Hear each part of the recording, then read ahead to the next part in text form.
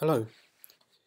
In a response to one of my earlier videos, a customer posted on the community that he was rather unhappy with the functionality of the current journal fields in ServiceNow.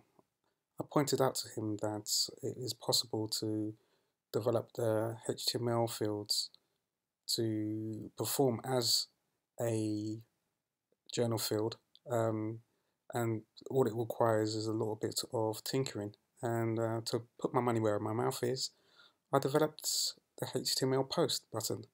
Uh, so this video is just demonstrating how it works. Let's have a look.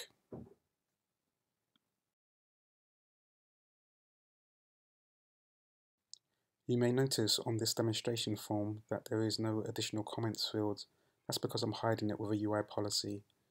Um, the only additional act that, that is required to get the HTML post button to work, uh, besides um, uploading the update set, is to actually have a HTML field on the actual form itself. So a, a field of type HTML on the form itself.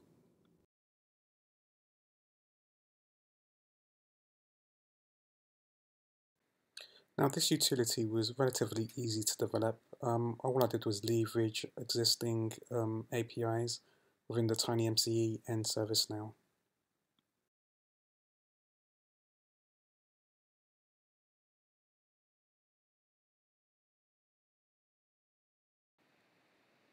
Ta-da! And there you have it.